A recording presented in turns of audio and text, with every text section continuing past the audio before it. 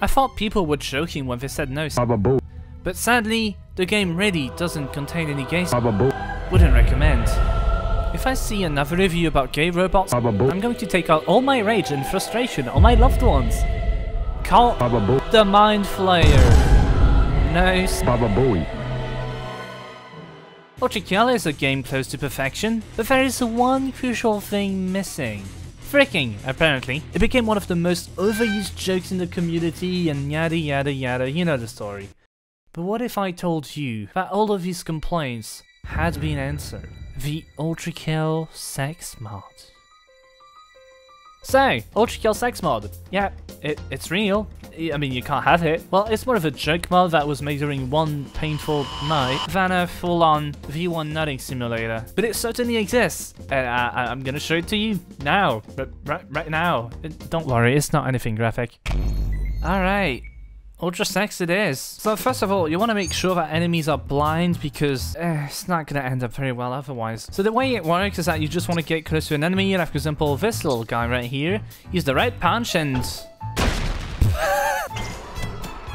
you can fuck like every enemy in, in the game. You can fuck the Sisyphus. Kind of. When I mean that you can fuck anything, I mean anything.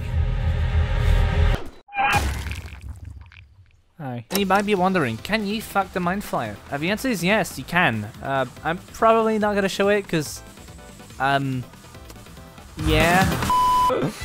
oh god. Oh, there you go, Swordsmachine. I wonder if you can.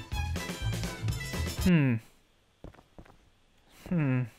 I mean, surely. But you might be wondering, what kind of absolute fucking lunatic would make such a disgusting thing? Here's NPTNK, Australian, funny electrical mother who works on multi-kill, kind of, it's a complicated story. And I'm here to ask him, why did you make this?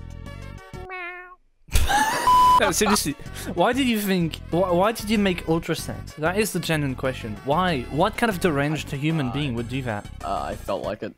I typed some stuff and it worked. Alright, um, how long did it take to make this?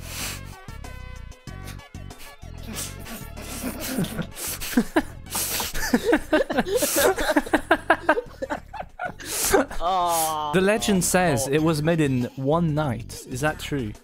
It was made in one night, but I had assistance from another person. The thing that took the longest with Ultra Sex was the color. Alright, so uh, another question that, you know, is uh, very important. Why do you not want to share it? Why do you want to keep it private? Because uh, probably shouldn't be released.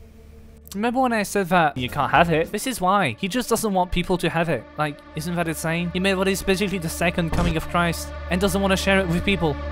Oh yeah, that's totally reasonable. So um, one other question uh, is: Are, are you gonna implement a Gabriel foot job? Because that is probably very important. Okay, we're done here.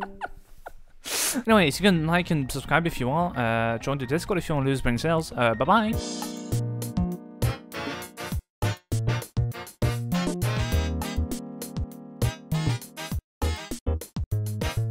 Do it. Yes.